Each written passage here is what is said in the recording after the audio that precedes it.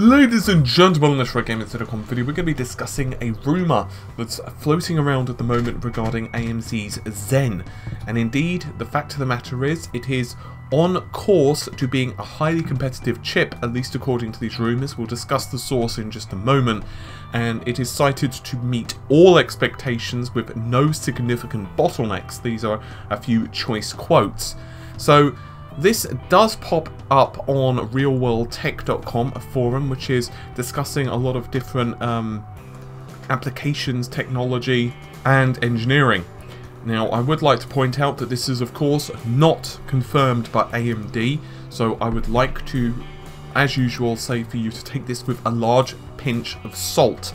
However, these claims do come at a rather choice time, we will discuss that in just a second, but suffice to say, of course, we know multiple details with Zen have at least been leaked multiple times from different sources or confirmed by AMD themselves. For example, the fact that the Zen is now being taped out, the fact that the Zen is going to have at least a 40% gain over the previous generation CPUs, we've known that for some time. Anyway, so these comments say that regarding the Zen performance, a guy who worked for AMD, at least according to his LinkedIn profile, and who, as he claims, worked on designing level 2 cache for Zen and K12, said that the focus was being competitive against Intel. He no longer works there, but apparently his old colleague still works there said that Zen chips have already been tested and so far have met all expectation and haven't found any significant bottlenecks. Apparently they haven't finalised the specifications for the clocks in the TDP, but their partner in server market are, quote, very excited. It's not much detail, but I think if the problems are having only two AGUs, it would count as significant bottleneck, also this is my first post, blah blah blah blah blah. Now, a day or two ago I did report that AIDA 64 changelog is now including Zen Summit Ridge as well as Raven Ridge processors. So the Summit Ridge of course would be the CPUs whereas Raven Ridge would be the APUs which we know that uh, AMD have been planning that for some time. Additionally we have also known through various leaks and patches that the IPC, the floating point throughput and other details of the core are looking decidedly impressive.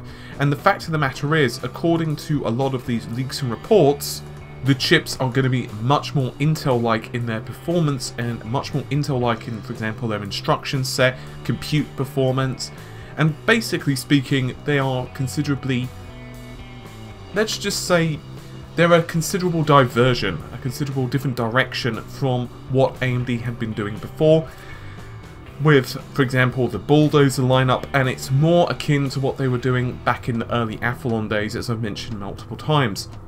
Suffice to say, according to various leaks and patches that were popping up uh, just a short time ago, um, these actually appeared um, in, I believe it was September time, if memory serves, but they basically point to the fact that each core will have four ALUs, two AGUs, and four uh, FPs. So ALU of course is arithmetic logic units, AGU is address generation unit, and FP once again is short for floating point unit.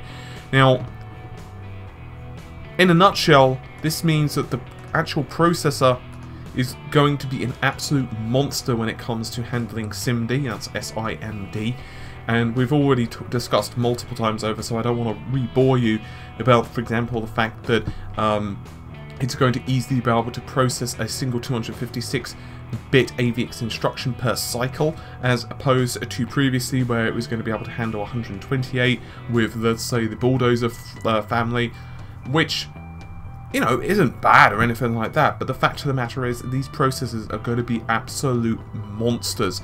Now I would like to just quickly finalize and say that obviously we don't know if these details are accurate in regards to, you know, whether they are going to meet expectation. And the fact of the matter is, at this point, and this is something that I speculated in, let's say three, four, five weeks ago, they are probably still trying to dial in the clock speeds because at the moment they probably don't have a representative uh, sample size. In other words, they haven't had enough processors, enough silicon to actually test to figure out okay, what's the limits that we can actually push this thing? Now, obviously, some of this does come to yields, some of it does come to binning, so in a short way of putting this, let's, for the sake of argument, say that back in the day when you had the old processors um, you know, when everyone was trying to go to the 1 gigahertz mark. So let's just take things real simple. Not all cores come out as equal. Generally speaking, what happens is the manufacturers are shooting for the high end, but invariably you're going to get lower end processors simply because those cores which are not capable of running at, let's say for the sake of argument, 1 gigahertz, they may be capable of running quite happily at let's say 800 megahertz with a respectable amount of voltage. In this case with multi-core processors, it's very much the same deal. How many processors are coming out with, let's say, 4 cores enabled out of the modules, or let's say, how many of them are running with, let's say, less cache, or let's say, for the sake of argument, that AMD are shooting for 3 gigahertz, um, for the high end, I'm obviously just pulling that on my ass. For we know, they could be shooting for 8,000 megahertz. We don't know. But let's just say they're shooting for 3 gigahertz for the sake of argument. It's probably going to be more around the 4 mark, but let's just say 3 gigahertz.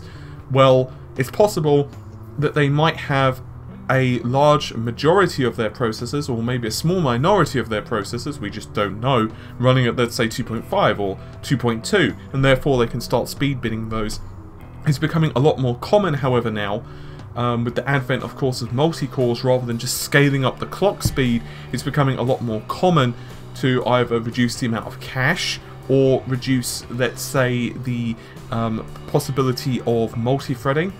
Intel, of course, do this by simply not enabling uh, hyper-threading on their processors or disabling the number of cores or what have you. And generally speaking, although sometimes they are slightly different architectures, generally that's how it all comes to be. And once again, obviously I've somewhat simplified this whole process because speed binning itself is becoming considerably more complicated. This is particularly true in the world of GPUs. But I can imagine that AMD right now are doing a lot of testing, trying to figure out what speeds they can get, what comfortable, what speeds they can get at comfortable um, TDP. In other words, how much heat does it generate, how much voltage does it actually take for that so they can actually start providing those details, those guidelines for manufacturers, for example, let's say for the sake of argument, that it's running at, I'm just going to pull a figure out my butt once again, 1 volt to run at 3 gigahertz. Well, you know, is there a significant drop off if you're running at, let's say, 2.4 gigahertz? Does it require, like, I don't know, 0.9 volts for the sake of argument? You know, and this all this stuff is very important because that scaling is going to come very, very much in handy when obviously they start to try to really crank out production and really start to, well, be competitive in the CPU division. Once again, I would highly encourage if anyone is interested in this stuff to do a little bit of research, maybe at least look on Wikipedia and have a look at binning slash yields, um, basic process of manufacturer, uh, manufacturing, excuse me, because it is quite interesting stuff. But for the sake of this video, I wanted to at least give you a simplified overview on how this works so you can kind of understand what is going on possibly right now. Anyway, hopefully you've enjoyed the video. I'll see you soon. Take care. Bye for now.